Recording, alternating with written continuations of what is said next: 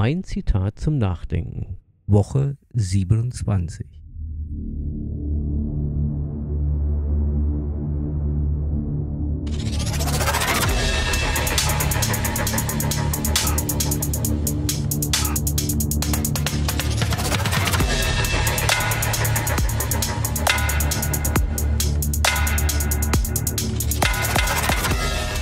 Es ist besser, zu überschlagen, was du zu tun beabsichtigst, als dich von dem wachhalten zu lassen, was du getan hast.